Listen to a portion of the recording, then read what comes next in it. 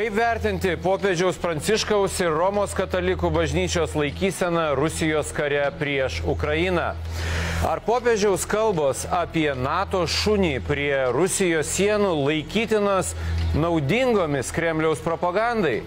Dėmesio centre 19.30 per TV3.